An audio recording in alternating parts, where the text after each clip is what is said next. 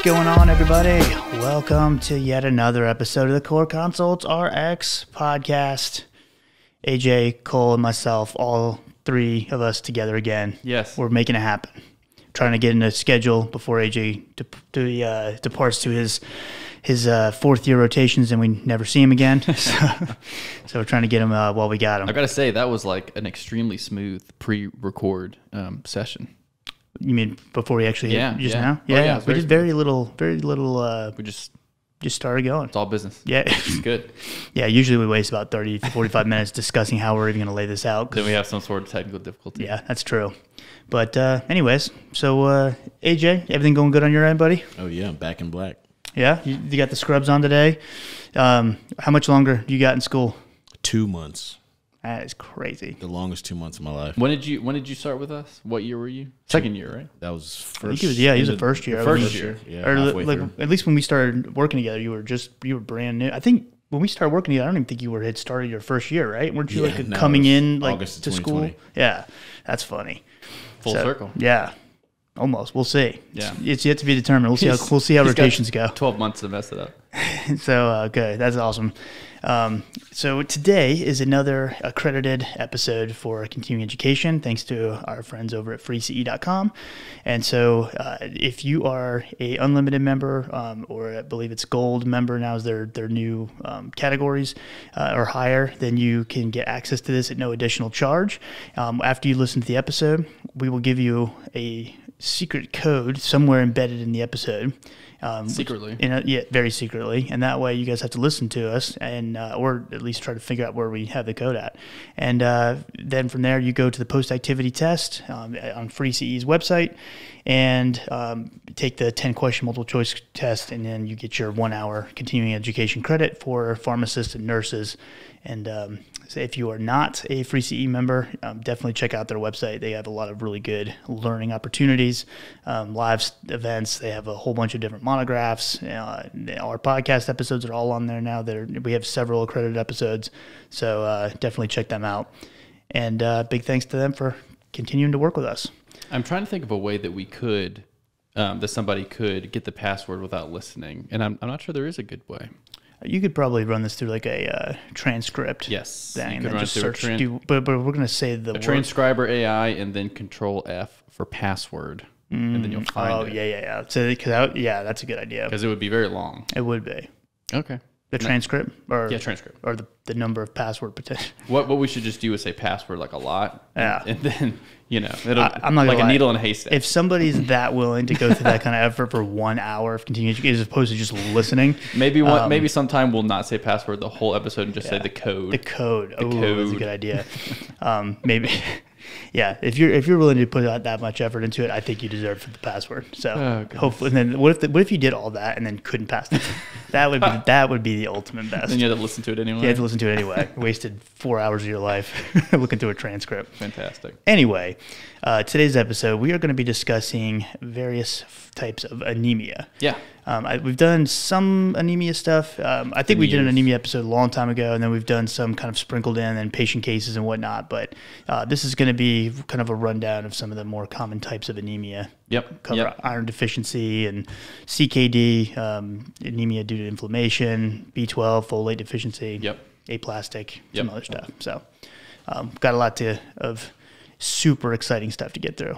Yeah, and it actually is a lot. So this will we'll try not to mess around too much because we have a lot to get through in the next hour. So Yeah. um, prepare yourself.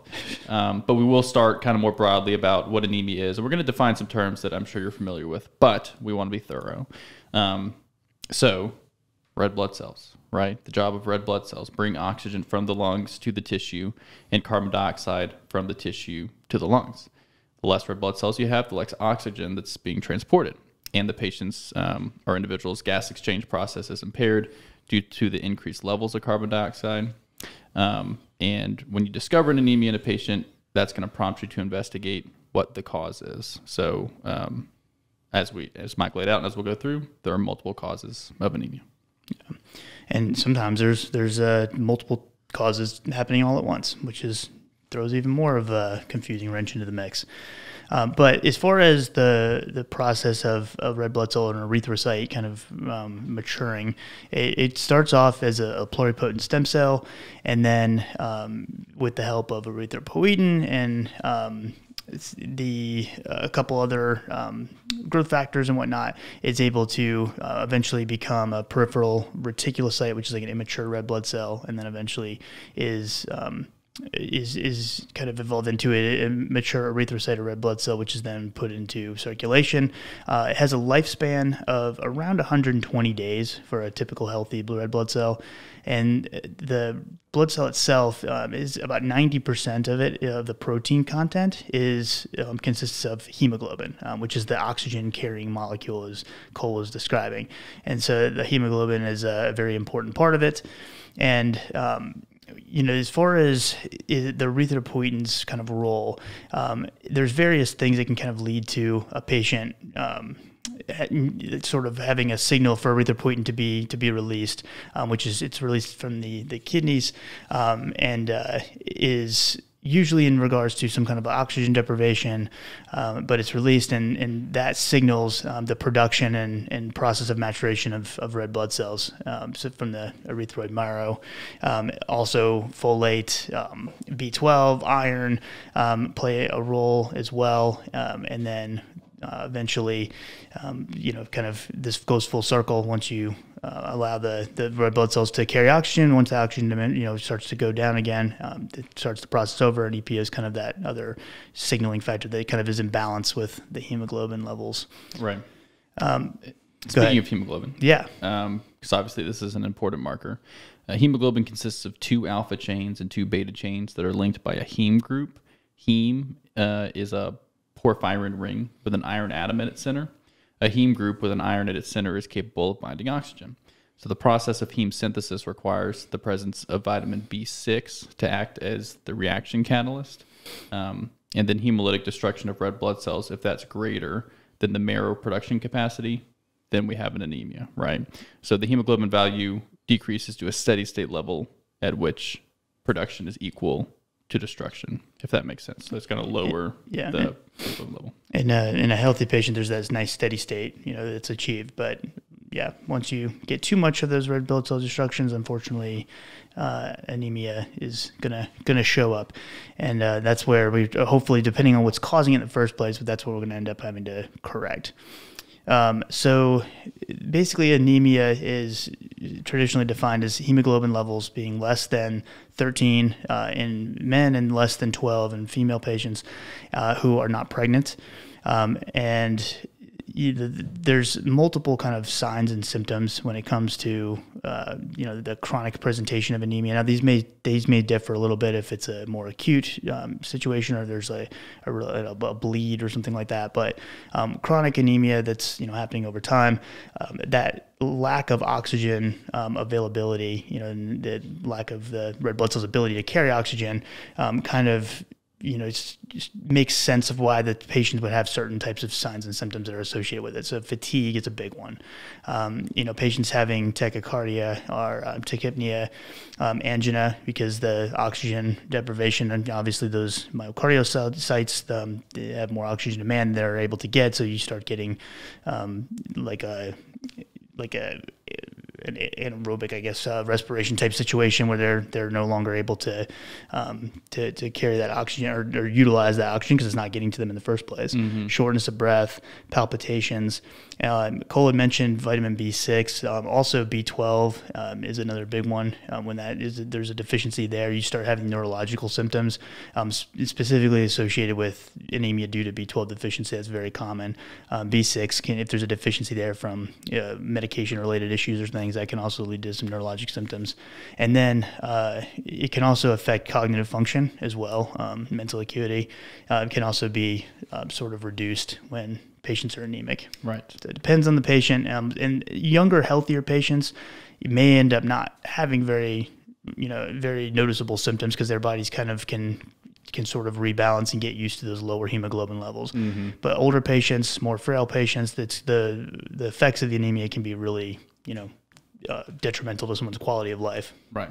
and if, if they are healthy and aren't noticing, it can get to a pretty significant. Exactly. um, yeah, yeah. um, they can get it can get pretty severe before it's even noticed because of symptoms if it's not incidentally recognized. Uh, so we want to talk a little bit about um, lab values. So um, specifically the ones that you would get in a complete blood count, a CBC. Um, so white blood cells, when you see white blood cells, that's referencing neutrophils, macrophages, basophils, lymphocytes, eosinophils. Um, and then the hemoglobin, the hemoglobin value is going to show a rough estimate of the oxygen carrying capacity. Um, hematocrit is the percent of actual volume of red blood cells in a unit volume of whole blood, and that's typically three times the hemoglobin. And then the mean uh, corpuscular volume. This one's important, especially when you're identifying the type of um, anemia, is the average size of the red blood cell. Also, platelets are going to be on here, um, as well as reticulocytes, which are immature red blood cells that circulate for about a day in the bloodstream before developing into mature red blood cells. All those are going to pop up on a CBC. And as Cole mentioned, the the MCV is definitely an important kind of first step when you're looking at some of the potential causes of, of anemia. So, and, and it's it may not be as helpful if there is multiple types of anemia present at the same time, but you know, in, in a more simplistic case where there is, you know, one type of anemia, starting with the MCV, usually that kind of gives you at least an idea of where to go from there. So, if the MCV is uh, high, so usually um, being above 100.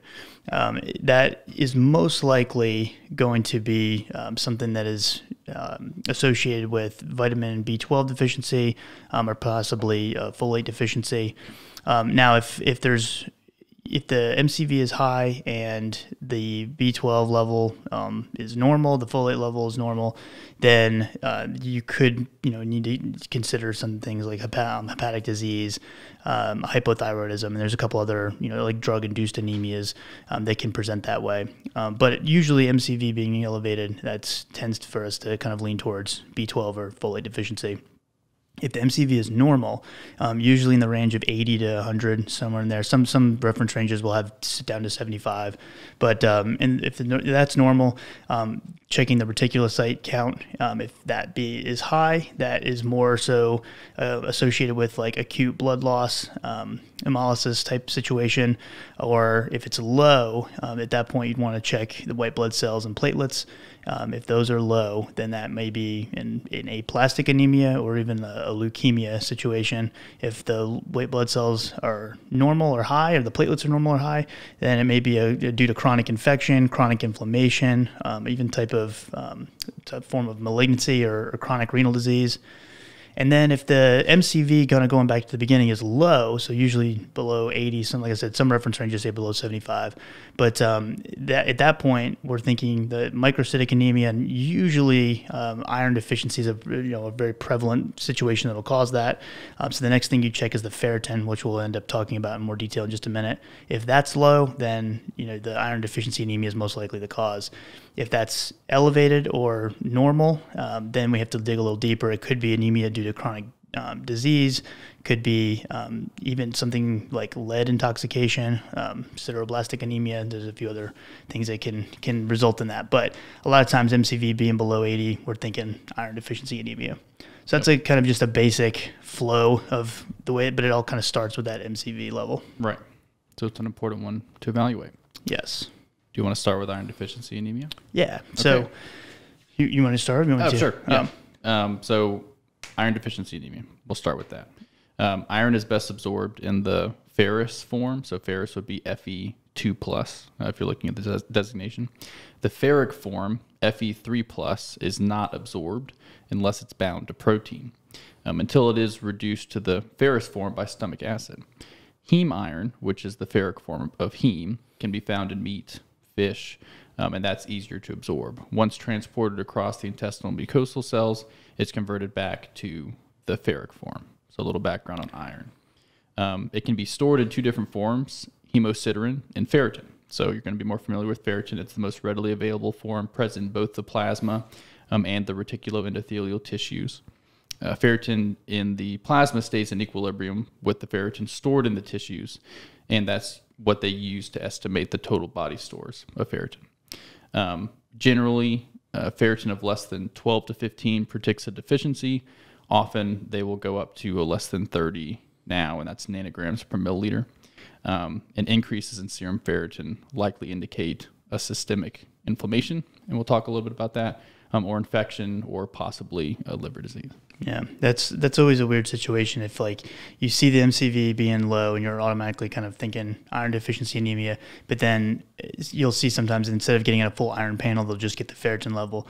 Um, I, I saw one the other day where the MCV was a little low, but the ferritin was like uh, it was some it was the highest ferritin level I'd ever I'd ever seen, and the, turns out it wasn't the anemia, um, or it wasn't the iron deficiency in, um, that was causing the anemia. It was chronic uh, inflammation. Different reasons. So yeah, ferritin is a big, definitely a big one to look at. Um, but uh, some others, when it comes to iron, you know, deficiency specifically, getting an iron panel is, is a good idea because you would want to look at the serum iron, um, which is you know the the concentration of iron that's bound to transferrin. Um, transferrin is the that plasma protein that's responsible for transferring iron basically through the blood to the liver, spleen, bone marrow, um, and then we also have uh, total iron binding capacity (TIBC), um, which measures the blood's capacity to bind iron with transferrin. And then you'll also see transferrin saturation, which is that serum iron over the, the total iron binding capacity, um, just multiplied by 100 to get a percentage. And usually, when we think of deficiency, uh, we're thinking of a, a TSAT of less than 20%, um, is usually what would indicate iron deficiency anemia. Now, um, that may be a little bit more skewed. Uh, they, they have a little bit higher cutoff when you talk about chronic kidney disease, but we'll get to that in a little bit.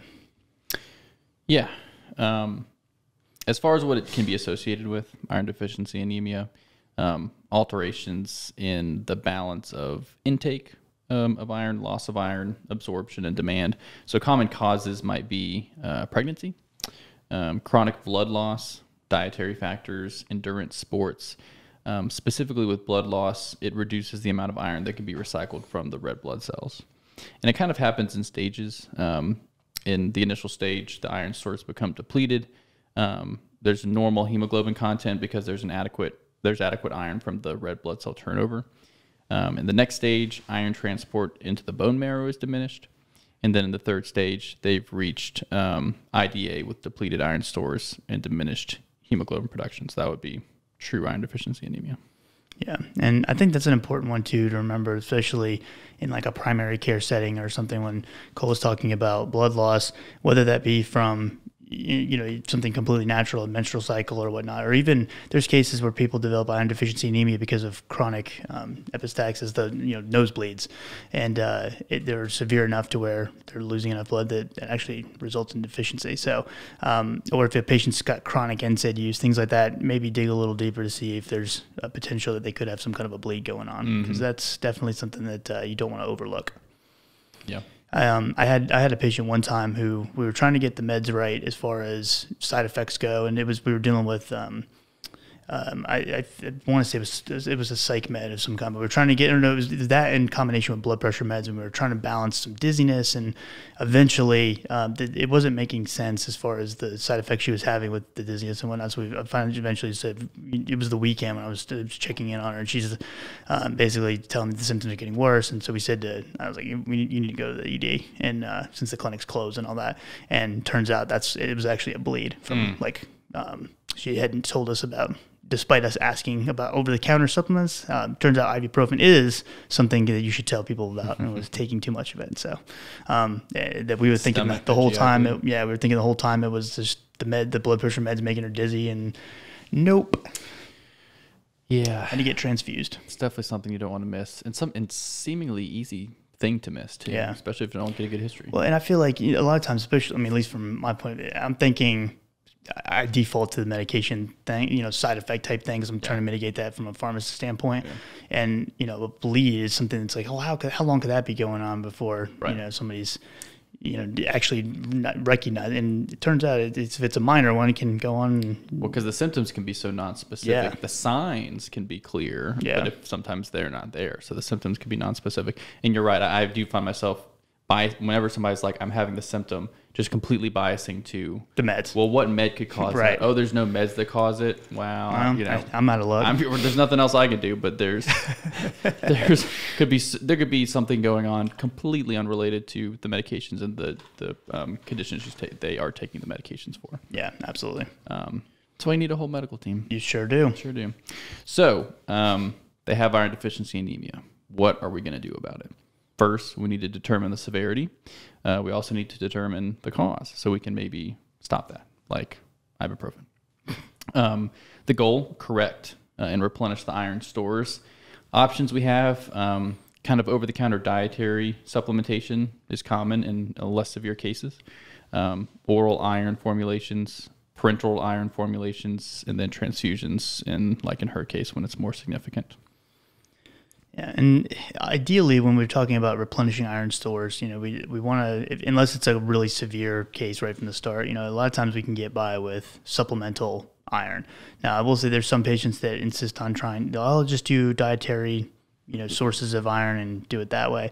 If you're already deficient in iron, it's usually pretty difficult to get enough iron from your diet at that point to correct the anemia, plus build up your iron stores again, and then right. get back to a normal. Maybe maintaining adequate iron, yeah. long term diet, sure, but to correct it, right? It's a lot. It's a lot of meat. I mean, I like my meat. I like yeah, meat. sure. It's, I like fish. You, you can get it from tofu as well. So maybe don't like tofu. Okay, I was you know I'm trying to be inclusive. I'm good people with people who don't eat meat. Cool, jeez. Good with oatmeal. See this, AJ? I do really like broccoli. Surprising, surprising source of. Uh, I like broccoli iron, too. You know, you, you got steamed potatoes. Remember when we did our uh, oh, your yeah. potato discussion? That one that long ago. Yeah. So there you go. That's a, that's a possibility. Cole loves that one. I do love. He potatoes. knows which one to eat. Do them in any so, any way you can. I yeah. potatoes. um, also, some things that can actually decrease the absorption. Boil them, mash them, stick them in a stew. any way you do. Put them in the air fryer. Yeah. That sounds gross. Um, there's some things that can decrease iron absorption. Um, caffeine, uh, milk, tea um, are all things that can slightly decrease the absorption of iron from the diet. But um, like I said, getting it from the diet alone, usually if you're already deficient, is is not going to be sufficient. So. Um, if we can get by with oral formulations, that's usually um, the ideal way of doing it because uh, the iron infusions definitely have uh, more side effects and things that can go wrong. But there are so many different oral formulations of, of iron supplements mm-hmm. out there. Um, the three most common, at least I would say, you know, from an over-the-counter availability standpoint, would be ferrous sulfate, uh, ferrous fumarate, and then ferrous gluconate. Um, from a ferrous sulfate standpoint, it's the 325 milligram tablet has 65 milligrams of elemental iron, whereas the 325 milligrams of ferrous fumarate is 106 milligrams of elemental iron and then 325 milligrams of ferrous gluconate is 38 milligrams. So they are not created equal. Um, so I, I always tell like my PA students and whatnot, I tell them like even if you you know are expecting them to get over the counter, still send the prescription in for whatever you're trying to prescribe. Usually ferrous sulfate in a lot of cases, just because you want to ensure that the patient doesn't grab the wrong product by accident. Um, there's also a couple prescription versions. Um, they have carbonyl iron. Um, they have polysaccharide iron complex, which is the, under the brand name Nu-Iron. Um, and there, there's some others as well. But when it comes to the dosing, you know, we typically are looking for um, the we're looking at the, the dose of the elemental iron, not the the salt form. And so historically, um, they've kind of targeted 100 to 200 milligrams of elemental iron per day. Uh, for as long as three to six months to kind of replenish those stores, and then you know maybe decreasing to maintain you know those levels from there.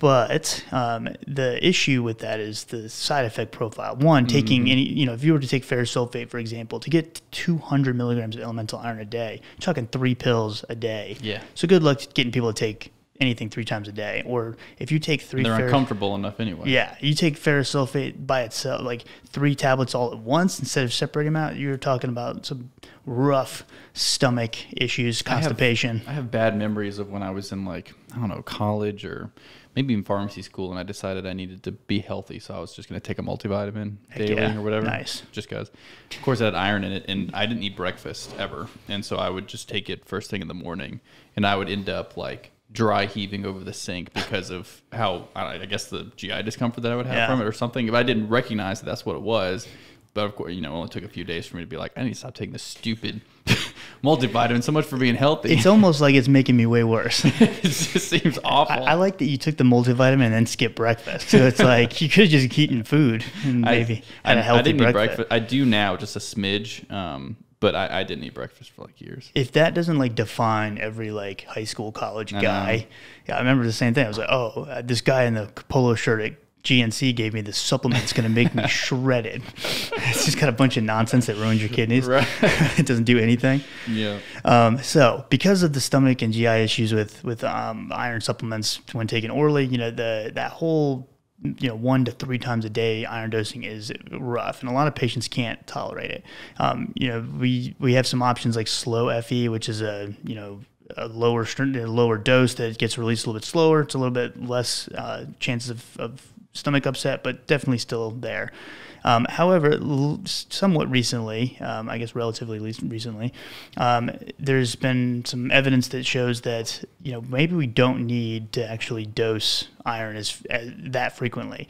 Um, and in fact, there's been some that show that alternate uh, day dosing, so taking you know iron every other day. Basically gives you the exact equivalent response from a results standpoint, but then reduces that um, adverse effect profile. Um, there's been a few different studies now, and, and, I will say that I feel like the group that has, is like really adopted this already and has been having a lot of success with it is the OBGYN, women's health, nurse practitioners. Mm-hmm. I feel like they're they're on that with the iron. Um, and a lot of them that I've talked to are doing that every other day, or I've had some that actually dose it Monday, Wednesday, Friday only, mm. um, and it, they, are getting good results for a lot of patients and um, taking care of a lot of those adverse effects. Yeah. So I th- that's a it's a very good strategy. There's good data to back it up. So dosing iron, especially starting them off on like one pill a day or two pills a day, please don't do that. Yeah, I think the take home point is if it's not a severe iron deficiency anemia, it's kind of a slow correction back. You can't just shove yourself full of oral iron supplements and it, and it comes back up. There was a small study with um, only about 54 women who were given multiple daily doses of iron and there seemed to be some paradoxical decrease in iron absorption. So it didn't work better and may have had a negative effect. So yeah, it's yeah. kind of it's kind of weird too. Like the it's like you know more is less or whatever the expression is, but you get less absorption the more iron you get, which is counterintuitive to what we would typically think. Right. So so what's actually happening is less is more. There you go. That's the, the word I was looking for. Yes. I was lexicomping while I was also trying to make that coherent sentence. Uh, really, really backfired. Lexicomping. I like that it's a verb. It, it is for sure. Present um, progressive. Um, there's also another oral form that, that was approved in 2019 called Accrufer is the brand name. Um, it's ferric uh, maltol. It, it's a non-salt oral formulation of, of ferric uh, iron, and one of their claims to fame is that its adverse effect profile tends to be a lot more favorable. Um, it, the, for constipation, for example, was four percent with ferric maltol versus you know ferrous sulfate being 10 up to 39 percent of patients. I would argue probably much higher than 39%. But um, the dosing is uh, 30 milligrams twice a day for 12 weeks. Um, however, the the price, um, which is what I was lexicomping, um, is definitely something that I, I, think would be cost prohibitive. Um, so each capsule costs, um, the AWP is $10.61 per capsule. Yeah, I bet so, you're talking pennies on a over the counter. Yeah, yeah, for sure. Supplement. So. and it has a number of adverse effects that you would expect still um, stomach upset, constipation, dark and tarry stools. Vitamin C increases the absorption of um, iron in general. Um, typically, it's taken on an empty stomach, but as we know, that causes problems with your stomach. So, right, as Cole pointed out yes. from his from his self-induced so I data, could not have taken it on an empty stomach. So you're going to get decreased absorption, but at least you know you're not going to be driving heaving over the sink. Um, right. So I don't know. I don't even know what the best way to counsel on that would be. I'd say try it on an empty stomach. If you can't tolerate it, then just you're gonna have to take a little food. That's usually. I feel like that's what I tell patients. um, there are interactions. Um, it needs an acidic environment. Antacids, H2 blockers, and PPIs will decrease the absorption. Um, so the recommendation is to take it two hours before or four hours after antacids, two hours before or four to eight hours after um, certain antibiotics like fluoroquinolones, tetracyclines, cefdinir. We're going to want to separate uh, levothyroxine from it by two to four hours, levodopa by two hours, and Parkinson's disease, kind of a random one, but it's in there. Um, and then also that um, influenza treatment, Xofluza, um, they aren't to be used together. Is that the one one dose one? Yeah, I think it inhibits. I think the iron inhibits like a chelating agent. I think it inhibits the absorption of the Xofluza, not yeah. the other way around. So skip that for a day. Yeah, skip, skip the, iron. skip the iron. Yeah, don't skip your one dose of Fluzone. You're going to still have Oh, I. I, I've got uh, this. I, got to take this iron. I can't. I, I'm Can't just gonna have. can't to- take I guess. I'll just have the flu. yeah, don't do that.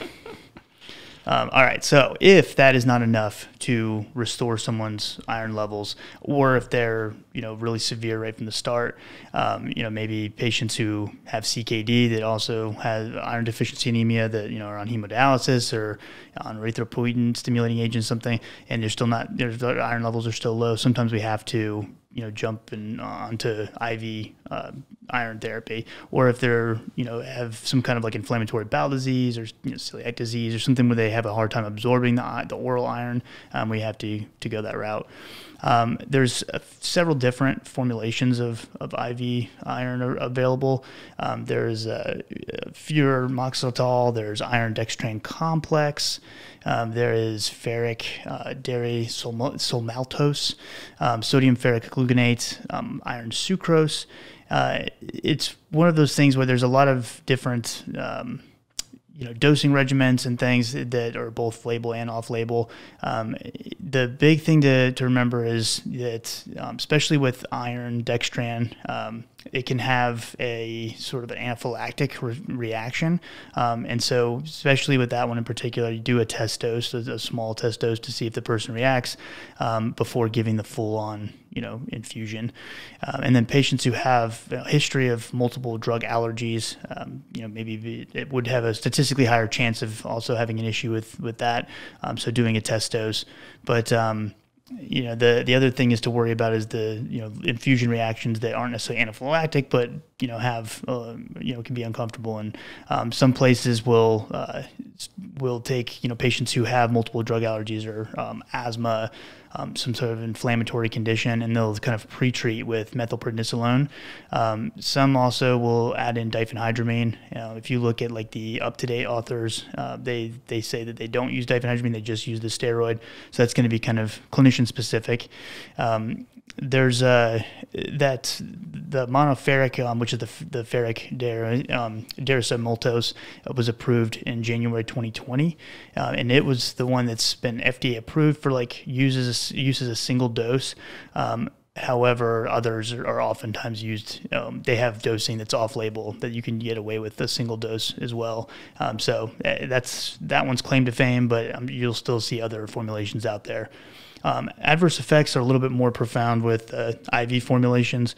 So worrying about things like muscle aches, flushing, um, both hypo and hypertension, tachycardia, peripheral edema, and you know, so it's something where if the patient has other comorbidities, especially cardiovascular comorbidities, um, you just want to use some some caution and definitely closely monitor them and their their vitals.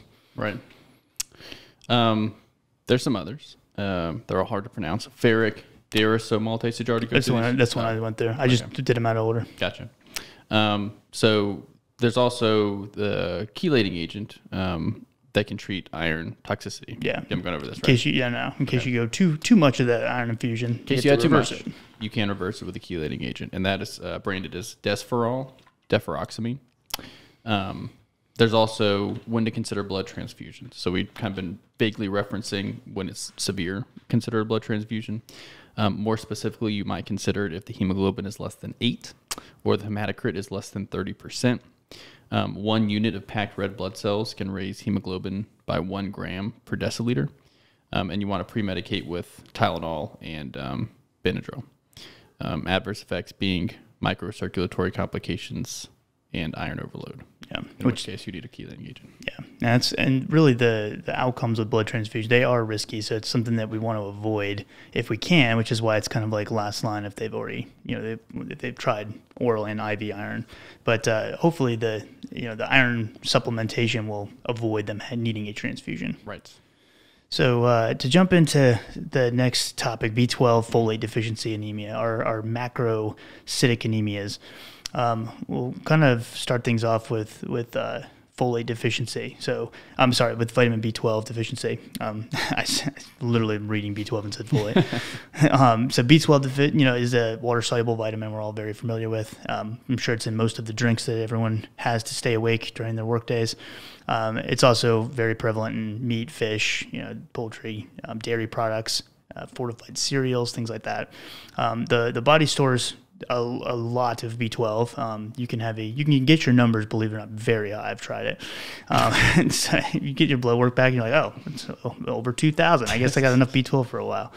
Um, but uh, um, dietary cobalamin is kind of like what starts the process. And one of the things that you'll see for patients who are on acid suppressing agents and things like that is they tend to have more prevalence of B12 deficiency because the, some of the um, the acidity is needed to, to sort of release that cobalamin um, from or the in the cobalt from the food that you're getting from you know in, in, your diet, and so if if you're suppressing the acid is more basic higher pH, you, then you're going to have less of that cobalamin that's able to be absorbed and ultimately can lead to B12 deficiencies. Um, there's some uh, there's several medications that can also um, lead to a B12 deficiency. Um, some of the ones I think of like right away would be hydroxyurea, um, methotrexate, uh, azathioprine. Um, and then more commonly, you'll see uh, like metformin is notorious for causing B12 deficiency. Yep. Um, in fact, the ADA now recommends if someone who's on metformin should get a B12, uh, their B12 tested once a year um, because of that whole uh, neuropathy, you know, manifestation of, of symptoms. Um, and someone who's on PPIs are also at risk. So it's usually those two together that I, when I see that, that's when I start asking about, you know, if there's ever been any signs of nerve pain. Um, some laboratory findings, um, like I said earlier in the episode the, the MCV is usually high, is in the, above 100. Um, you'll see low hemoglobin, hematocrit, obviously, because it's anemia, um, low reticulocyte count, and then the serum vitamin B12 is usually low. However, it may not you may start having some manifestations before the serum level actually is showing up um, as being low. And so there's um, a couple of things you can look at. There's homocysteine and methylmalonic acid, um, which are usually elevated um, in B12 deficiency. And those are actually some of the first levels that start to change. And so if a patient has um, elevated uh, methylmalonic acid levels, that one is specific to vitamin B12. So it's involved directly with the, the synthesis of it and processing of B12 and so if it's a folate deficiency, um, or that you're, you're, trying to decide whether you know it could be folate, could be B12, if they're both in the normal range but on the lower side, um, if that MMA level is high, then that may be uh, more indicative of B12 than folate. Yeah. Um, yeah. Yeah. And, goals. Um, yeah, the goals would be to identify and correct the underlying cause. Um, reversible reversal of hematologic manifestations, replace the B12 stores, and prevent or stop the neurologic symptoms. So, um, this is a common workup if um, you have an elderly individual who's being worked up for memory disorders. B12 is going to be included there. Um, early treatment is important because if it's extremely low and it goes on, um, neurologic damage can be irreversible. So, um, even within a number of months, um, there can be some irreversible damage. So it's important to correct it quickly. Those with borderline low B12 levels but no hematologic abnormalities um, should be followed at yearly intervals. No uh, treatment is necessarily warranted, though not harmful to take a supplement if you want. Yeah, it cures everything. gives you just gives you energy. So much energy. Take a B12 supplement. Yeah, just take a ton of. You can take one to twelve a day. that's just. I'm just kidding. Don't don't tell anybody that's that. Effectively, what injecting it is. Right? Yeah, that's true. we're about to talk about. So the the treatment options, um, cyanocobalamin is the most common form of B12 that we supplement with, and uh, there's a whole bunch of different potential dosing regimens. So just to give you like an example, oftentimes we do use the uh, the IM um, B12 or It could be IM or sub Q, and uh, you know, we, we may do like a, a, thousand micrograms a day for a week, um, just to kind of like saturate the B12 stores, and then you know once a week for four weeks, and then we could even go monthly. Um, th- that's just one example. There's a whole bunch of different potential ways of doing it. Um, B12 is one of those that is water soluble, like I said earlier, so it's not something I'm really worried about causing issues with the kidneys or anything. Um, there's a little bit of chance of like pulmonary edema and obviously irritation at the injection site, so things like that to be aware of. But for the most part, it's pretty mild as you know as far as side effects go. Um, there are oral options available. However, especially if it's an issue where you're not able to absorb B12, um, or like in the case of metformin, it's, it's basically um, depleting your intrinsic factor, which is what's responsible for absorbing that um, you know cobalamin into the system or in the uh, in, from from the diet. If that's not available, then giving an oral supplement's obviously not going to do much good to to replenish those stores. So make sure if you do use an oral form that it's not taking oral like where you're swallowing it into the GI system. You're actually taking it sublingually. Um, sublingual tablets, um, you know, they are ideal uh, usually for B12. Um, lozenges are also available so you can absorb it buccally. Um, but the big thing is, you know, if they are deficient, especially from metformin or some kind of like um, issue with absorption, try, I'm trying to get patients to do the, either the sublingual or the injections. There's also, if you want to get real fancy, there's a nasal uh, uh, Nascobal, which is the nasal solution of uh, B12, and you can do 500 micrograms in, in one nostril once weekly, and uh, I'm sure that feels really good. I don't know. I, I had, you know, I had the um, the nasal flu mist when I was a kid, Mm-hmm. and to me that was just way worse than an injection. I'd probably just rather get this thing injected. Yeah, I've I've done. Did you ever do the uh, flu mist? Yeah, I did. Or you mean administer? Yeah. Not administer, but I had it given to me. And when- it was just very uh, uncomfortable. when I first got out of school, that was like a, a thing that we had to like learn how to do and stuff. And I was helping to teach like the immunization stuff to the new, which I was a new pharmacist too. I don't know why they let me do that, but um, I was like going through it. and I was like had all these like demo kits and stuff, and then like literally like a month later, Take it off they they were like, ah, this is garbage. Yeah. And so I just had like boxes of flu mist samples to like I throw think away. when I graduated was the year that it wasn't even available. I'm pretty sure. Yeah. We should get it. We should bring it back. Just, well, it's, A resurgence. It's back. It's but back, right? I, I, I haven't seen a single person get it No. you. And I, I swear it is. I'm telling you, it is uncomfortable. Like I, I, sure. it's like Flonase times ten. Like if you've ever had an uncomfortable interaction with Flonase, just where it kind of went, you know, down the back, and you're kind of like, uh, you know, for Yeah. a few hours. Like it was like that for like two days. Oh, awesome. I didn't like it at all. Yeah, just get a shot. Just get a shot. Don't be a baby. don't, don't be, a, Don't don't, be be, a- a baby. Even my eight month old doesn't my cry. babies get plenty of shots. Yeah, my baby gets plenty of shots. I say he doesn't. Uh, he, he did. He handled it like a champ. His last one, he got the, his second flu shot. And he just like looked at me like, "Am I supposed to be crying right Yeah. now?" It's like one moment of kind of like, what was Yeah, that? what the heck was that? Totally forgot about It's it. like nothing. That's don't worry about that. Anything else for B12? Now let's jump to folate. Jump to folate. So folic acid is a water soluble vitamin, folate, uh, but it is vitamin B9. It's a B vitamin. Um, it's necessary for the production of DNA and RNA. We're unable to synthesize sufficient folate to meet total daily requirements, um, and so we depend on it from the diet. So we don't have enough endogenous folate. We have to get it exogenously. Um, often women of childbearing age, especially if they are intending to become pregnant, will be taking a folate supplement um, because um, a lack of folate can cause neural tube defects. So they take this to prevent that. In um, in the diet, you can get folate from fresh leafy greens, vegetables, citrus fruits, yeasts, mushrooms, uh, also dairy products as well. Yep. all rich in folate. Very rich in folate. So treatment usually going to be folate tablets um, or folic acid tablets. Uh, over the counter, you're looking at strengths of usually 0.4 milligrams. Um, the one milligram strength is, is prescription. Um, there there is an injection, but I, I don't know that it's. U- I've never seen it used. I don't know. I don't think it's something that's given very often. Um, and uh, adverse effects from ol- fol- from oral folate, you know, flushing, um, bronchospasm if you're taking too high of a dose, um, but usually pretty mild as well.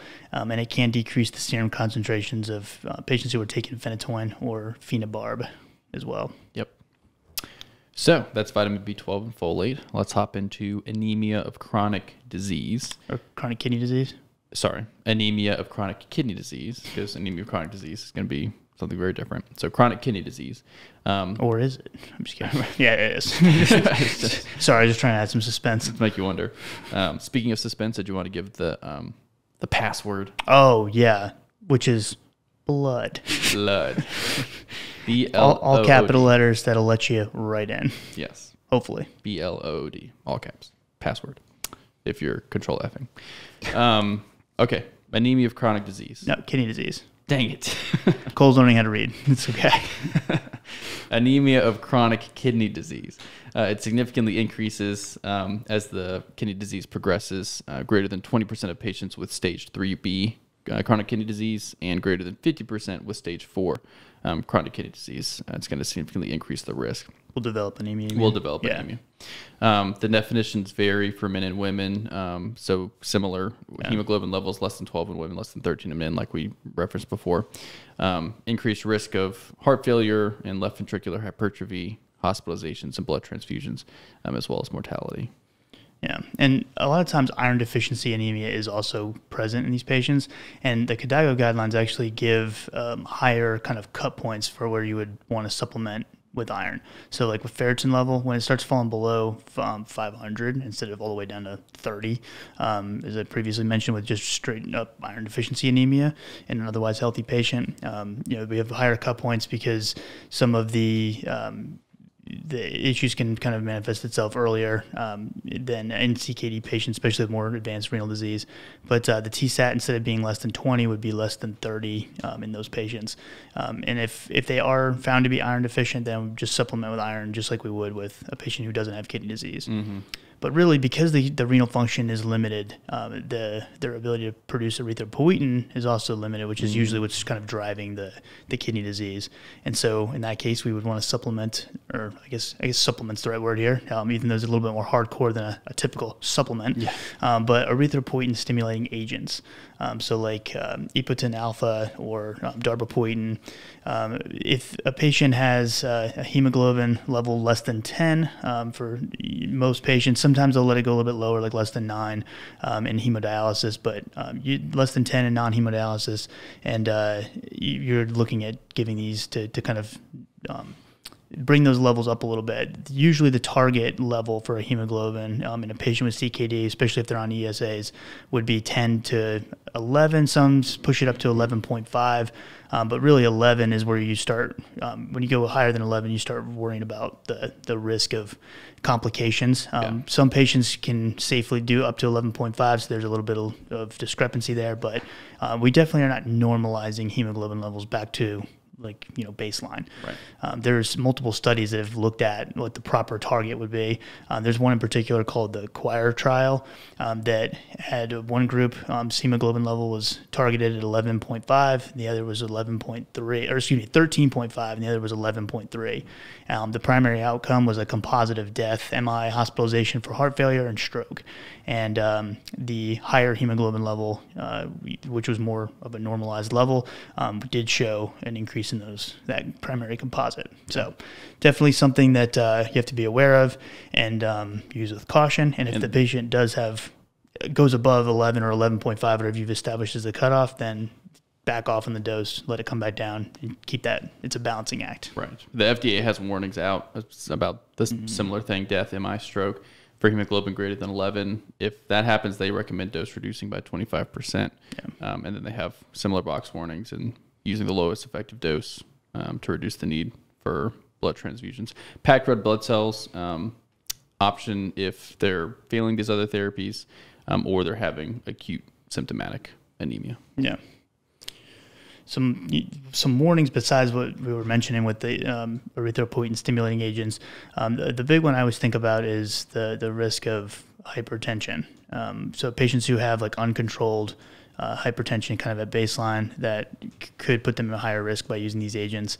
Um, and there's others as well. Um, but it's, it's even uh, uh, epoetin is something that can even um, like lower seizure threshold. Um, darbepoetin can as well. And so it's there's definitely these are not to be taken like lightly, but also you know they can be very uh, very useful in, in improving patients' quality of life.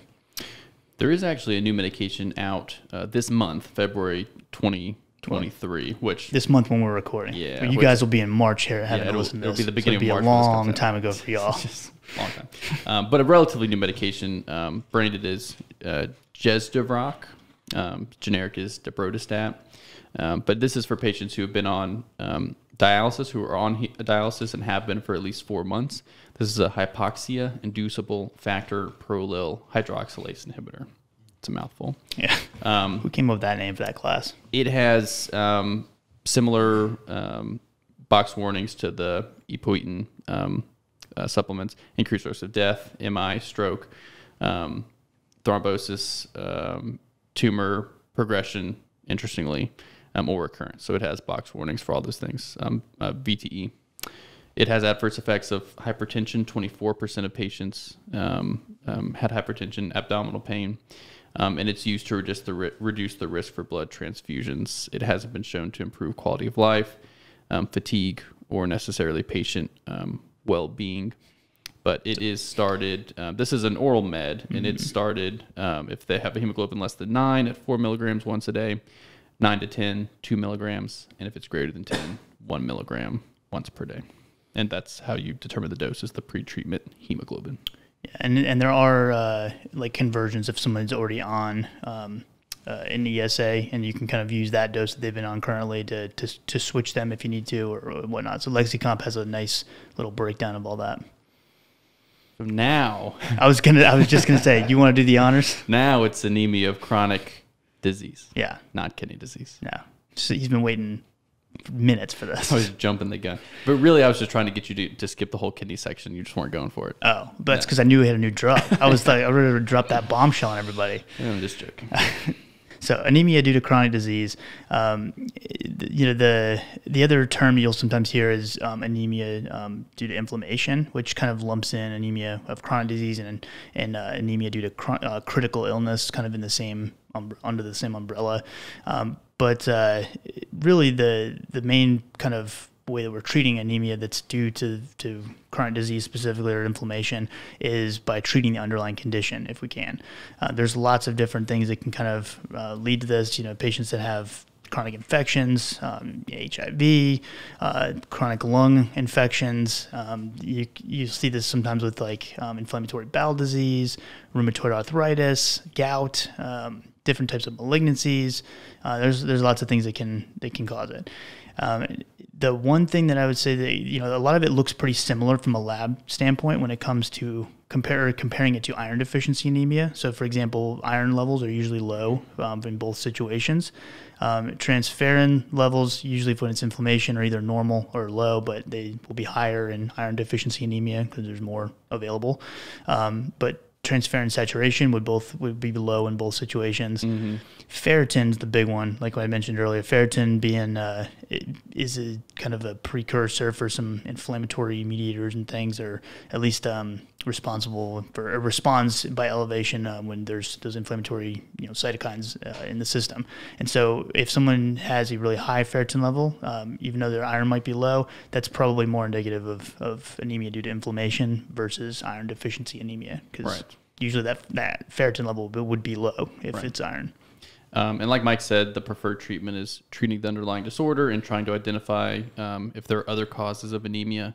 Iron supplementation is really reserved for patients with um, a concomitant iron deficiency anemia, and then they don't use erythropoietin stimulating agents um, in these situations. Yeah. Um, Get that get the inflammation under control. they um, transfusions would be strongly considered for um, severe anemia with complications involving bleeding. Um, liberal use of transfusions for correction of anemia and critical illness seems to have a negative effect on patient outcomes. So they want you to be conservative with when you're using the transfusions. Um, at hemoglobin seven to eight, or maybe slightly higher if the patient is um, symptomatic, and some strategies to be restrictive with it are to give less blood, transfuse at a lower hemoglobin level, and aim for a lower target hemoglobin um, to hopefully improve outcomes. So last but not least, uh, at least that we're going to talk about anyway. You know, there's still lots of stuff that we could we could spend more time on, but uh, for time's sake, because we only got an hour, which is nothing. Nothing. I wish we had 17 hours. We could do it for 17 hours. oh my gosh, could you imagine? We don't tell AJ; he just shows up, and we have 17 hours to record. It would be That'd like one of those um, telethons for raising money for charity. right? Just like Only how except it long would just be us talking. just be us talking and, And no money being nobody be sending us any And money. No, no, no, the phone doesn't ring once. that that's a good idea. We should do that. Just see if anybody feels bad for us. Yeah. Um, aplastic anemia. We'll finish up with. so, uh, aplastic anemia um, can be due to autoimmune mechanisms. Um, it can be from you know direct injury to hematopoietic stem cells, whether it be from uh, medication, chemicals, you know something along those lines, viral infections, genetic disorders. Um, but there's lots of different things that can lead to aplastic anemia. Um, patients will oftentimes, besides the you know anemia and the typical symptoms associated with that, um, they'll oftentimes have thrombocytopenia and neutropenia as well. And um, uh, you know, like I said, there's lots of different things, and even pregnancy in some cases can can cause uh, uh, aplastic anemia to show itself. Um, so just making sure you're kind of hopefully finding out the the reason for it if you can, um, but uh, the medication wise is kind of limited um, as far as treatments. You want to go through first line options? Yeah. Um, sorry, I was totally distracted. You want to go through first line? Yeah, yeah, I got you. I don't know where my. I was thinking about brushing my kid's teeth. That's truthfully what I was thinking about, and I somehow got extremely distracted. I, I have so many questions about that, and I figured, you know why that's what you're thinking about. But you know what? I like the I like the honesty. I respect that. Well, the honesty is that my wife asked me if I brushed his teeth this morning. That's and I said yes, and I really did, and I was feeling guilty about it. Ah, I'm gonna call her and tell her, dude. I know. Yeah, man, it's okay. That's good. I, I, I get that though. You're like, well, it's a white lie, and I don't have to get beat when I get home. I did like stick the toothbrush in his mouth, but Yeah. he was kind of fussy about it, and we were late for daycare, so I was like, Yeah, "Screw it, we're not what? brushing the teeth." Yeah, his teeth aren't going anywhere. that's what dentists are for, dude. that is what Um, dentists are for. oh, that's funny. You're gonna get in trouble later. I know. That's hilarious. She doesn't listen. It's okay. I'm I tell her on Facebook or something. All right, so uh, first line therapy um, is usually the assessing whether or not we're going to go the hematopoietic stem uh, cell transplant side or immunosuppressive therapy. Um, the age is usually kind of the first thing we're looking at to see whether or not you know we're going to go a certain route or the other. Um, depending on which guideline you're looking at, like a lot of times we say less than 50 um, hematopoietic cell transplant is where you know as long assuming that there's you know something they can tolerate, um, there's an appropriate donor available, all that good stuff. Um, then we would go that route. Some uh, some sources, including like the up to date authors that write their section on aplastic anemia, they actually use 40 as the age cutoff, and then in parentheses they say some experts use 50. So I like that. I, and I saw I was like, yeah, I, I usually say 50, so I'm like an expert, I guess. um, That's what that means. that's what that means. um, but the you know if if if they are going to go hematopoietic stem cell transplant, great. Um, they usually get anti-thymocyte globulin and cyclophosphamide for kind of conditioning, uh, which has kind of helped to um, improve overall survival after the transplant. Um, and you know the but the the transplant is usually saved, like I said, for those younger patients who can tolerate it. If they're over the age of 50 um, or according to some sources over the 40 um, that immunosuppressive therapy is where we would kind of have to start with Yeah. Um, so it's immunosuppressive therapy is used first line for patients older than 50, um, second line for um, younger patients. Um, you talked about the anti-thymocyte globulin. yeah and that's that's like an like kind of an add-on if you're doing the um, the hematopoietic stem cell to kind of condition you know the patient whatever but the it's sort of the backbone of therapy with immunosuppressive therapy Right. Um, we also have a drug branded as Promacta. The generic is eltrombopag. Works as a, a thrombopoietin non-peptide agonist and activates the um, um, TPO receptor, um, increasing platelet counts. It activates intracellular signal transduction pathways to increase proliferation, differentiation um, of the marrow cells. Um, it's added to standard um, therapy based on the results of the um, 2017 New England Journal of Medicine publication. Adding this medication was associated with higher risks of, or I mean, higher rates of response, but it does have some adverse effects fatigue, headache, insomnia, flu like symptoms, uh, that sort of thing. But it's kind of an add on. Yeah. So that that anti-thymocyte globulin that um, we mentioned earlier, so that's kind of like the backbone of therapy. And then usually, or historically, I would say they, they would add cyclosporin to that, um, as well as like a course of glucocorticoids, and um, that was kind of like the you know standard therapy. But when this eltrombopag, like that Cole was just talking about, was added in, um, think of that as sort of like enhancing or, or ensuring the the, the natural hematopoietic stem cell um, survival, and while the immunosuppressive agents are keeping you know the autoimmune response of the body at bay, um, the Trombopag does improve outcomes. And there was actually a study um, from January last year called the the RACE trial, not to be confused with the AFib studies, um, but they were looking at uh, eltrombopag as well being added to the, the standard um, therapy with um, ATG and um, cyclosporin, and showed that it improved the, the rate, rapidity, and, and the strength of the hematologic response among patients who previously were untreated with severe aplastic anemia um, without additional toxic effects. So that add-on therapy, this is another study that proves that it is a good option to add on so that uh, they don't have to, or they can have the, the best chance of a positive outcome while being on this therapy. Um, the cost obviously may be prohibitive. And they've even looked at this as monotherapy, and there's some other options depending on how frail the patient is. Um, you know, there's some strategies there, but uh, ideally, if the patient can tolerate it, um, they'll be on that trifecta of ATG, the cyclosporin, eltrombopag, um, with a short course of steroids and things as, as well. Right. So it's a lot, a lot of meds to start to take care of it, but It is, but that's it's probably I don't know the tougher to treat of the ones we talked about. yeah, I think say. hematology is probably going to be handling that one for me for Yes. you, unless you're just feeling real confident. Real confident.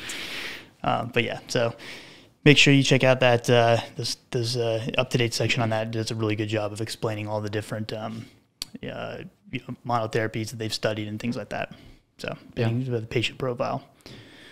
But that's uh, I think we're uh, we right at an hour already. We are right at it. Oh man, That we went through a lot of stuff. we There's a lot of information. in we there. did, and we and you didn't brush your kids' teeth. I know. What am I thinking? Uh, so, um, I hope that was helpful for y'all. I hope we weren't going too fast. We were trying to fit in as much as we could in this short time. But um, it, again, like I said in the beginning, if you uh, remember the secret password, uh, which we're not going to say again because why not? Um, we'll uh, make sure you go to FreeCE's website as long as you're a, a, a member, unlimited member with a, gold pro, um, membership or higher. Then uh, you can get access to it at no charge. Um, you, you put in the password, take the post activity test, get your one hour credit, and life is good. Thanks to uh, FreeCE for continuing to partner with us all this time. I think we've, it's, we're going on like two years with them. I think Coming up on is it. crazy. It's great. Um, so they've been they've been awesome. So definitely check them out if you're not a member already. They're uh, very very good group. And um, thanks to Pyrls, uh, the uh, our, our friend uh, at the Drug Info app um, that uh, has been a good supporter of the podcast for a long time. Um, you know they uh, have been updating. I think community acquired pneumonia was the newest update that they had. So check that out. Always good stuff coming from them. And um, I always feel so like such a slacker when I see how fast he's updating things because he's programming it all himself. I'm just like, what am I doing with my life? I'm talking on a microphone, but uh, um, good stuff there. So check out um, www.pyrls.com slash CorConsult rx. Um, you'll get some free charts and things, even if you don't sign up for a uh, a pro membership or whatever it's called. Um, and then if you want more traditional style, like lecture, boring content is what I like to call it, um, check out Patreon, um, www.patreon.com slash CorConsult and you'll get access to lectures that I do for, or similar lectures anyway that I do for my PA students, the uh, slide decks, things like that. Um, there's also a lot of pharmacotherapy practice questions for those of you who are into that kind of thing. Um, it's a good review system for a very low price of like three dollars a month. So go find go find a dollar and you know get three three friends together and you'll, you'll be good to go. That's exactly what you need to Yeah, do. just do that and then just all share my slides. that way you can really maximize the the dollar. But um, thank you guys so much. If you for listening, if you have any questions for any of us, all, all three of our emails are in the show notes. Um, you can reach us on social media platforms. Text us on the the number in the uh, the show notes as well. And we'll look forward to seeing you guys in the next one. Have a good night.